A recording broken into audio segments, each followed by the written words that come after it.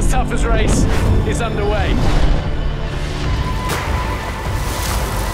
Whoa, whoa.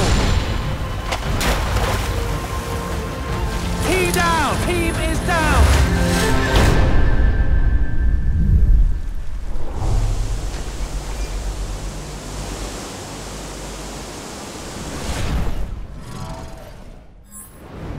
The Vuwa Falls is the crux of the race. The teams are going to be absolutely exhausted here. Every step is trying to trip you up. And then when they see that huge, imposing wall ahead of them, We're about to go and climb that.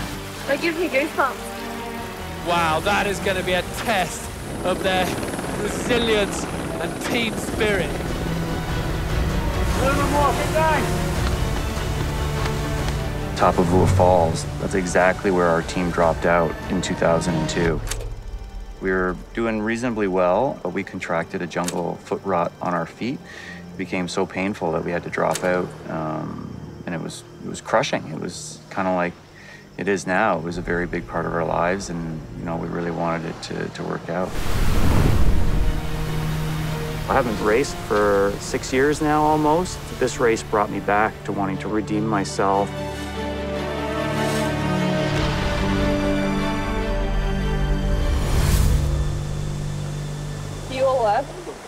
Get in a good rest before you hit the falls. Because once you're on there, you're kind of just on the ropes. There's not great places to rest. And then the weather, you know, it's quite a bit windier and quite a bit colder. Yeah, I don't think they should do that personally. because we'll get hypothermic, plain and simple. So let's do that in five hours time. I'll let you know on. I feel like I could do it, but it would not be enjoyable, man. And we only got 30 minutes sleep last night. It is. I mean, with a headlamp, you just follow the ropes. Um, but it's certainly easier in the daylight. I think we got it. We're going to go for it.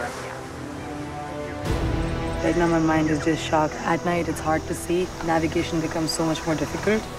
I was put on this planet to do hard things. I know when I'm out here, there's no reason not to believe that I am capable. There's a lot of sacrifice that goes into this. But I believe there's a lot of life lessons that can be taught.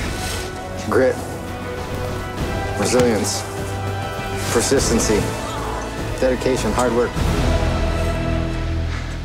Nothing great is ever accomplished on our own.